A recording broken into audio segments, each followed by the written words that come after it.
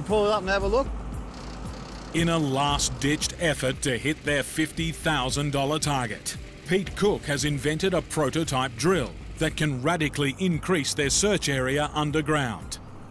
Nicknamed the cookie cutter, it can descend a 9-inch drill hole and excavate a wider area with its extendable arm, increasing the chances of hitting opal 16-fold.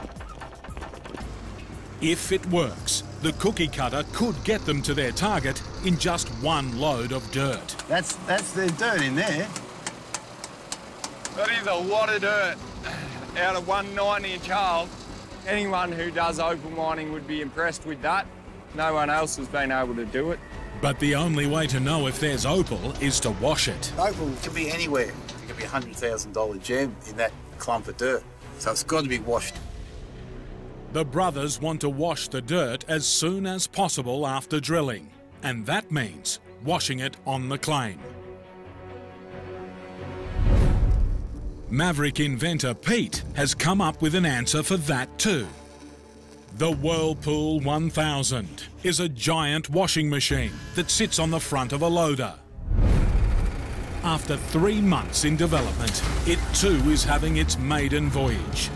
A little bit of trepidation because it never goes as smooth as you hope it will.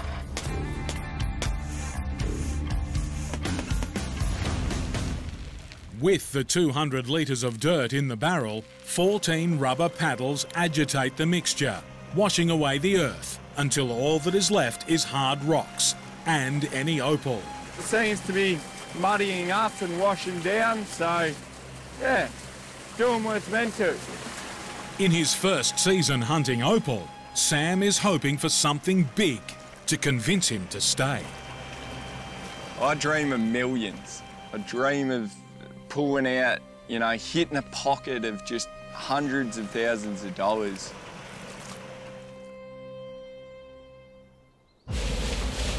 After an hour of washing, it's time to check the results. I did have a dream last night, dreaming about opal, but um, time to stop dreaming about it and hopefully find some. That'd be nice. This is the uh, moment of truth.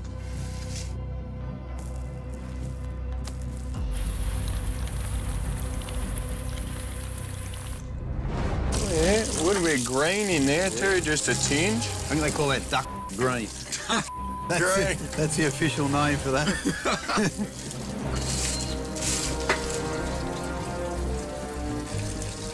A little bit of purple. Look at this one. Whoa, look at the colour in that. Oh, that's a big chunk. That's what we're after, isn't it? Yeah, yeah. Could be a couple of grand there. Oh, that'd be all right. Maybe. That's, that's not be bad to have a drill hole. No. I'm happy with that. Yeah, this is what we wanted to happen. So all the mucking around trying a new idea, that, that's proved it. That's shown you can bring up opal. Hopefully they cut into some nice stones, turn it into a bit of money.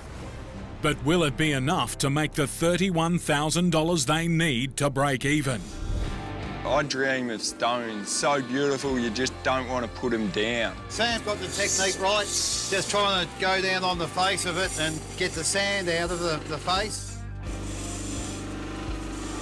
We're getting a little pile of cutters out of it. This is black opal, worth up to $35,000 for just a fifth of a gram. See what buyers are around and um, see if we can do a deal. But this late in the season, most buyers have spent all their money. Pete will have a tough time selling his stones. Carl Babick is one of the only buyers still in town. Some pretty little stones there. Yeah, they've got 10 stones each parcel. Oh, look, there's some fantastic colour there. There's good classic, you know, opal multicolour. Okay. Anything else?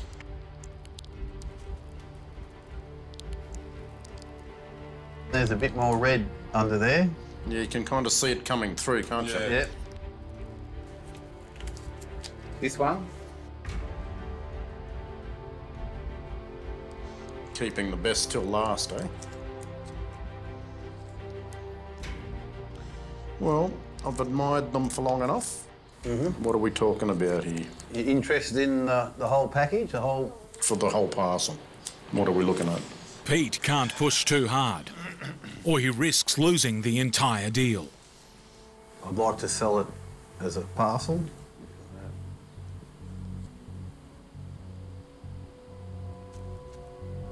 Even twenty thousand dollars. You've got your price. What about sixteen? 15 and a half. If Pete sells now, he won't hit his target. But if he holds out for another buyer, he may get even less.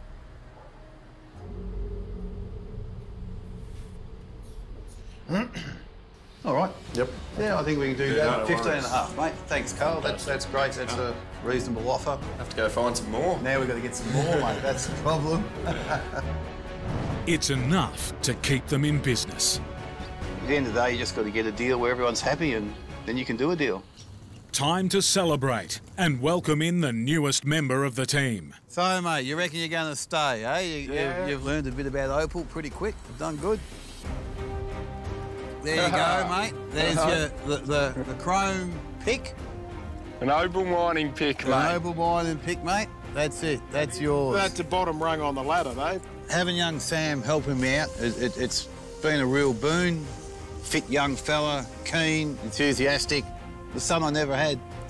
Oh yeah, I've got opal fever. I'll uh, use that to pull out some some gems, Yeah, some hopefully. gems, young fella. Cheers. Cheers, boys. Cheers. Absolutely, Sam. All right. Good to have you aboard, mate.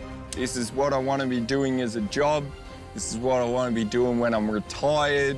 This is what I want to be doing forever.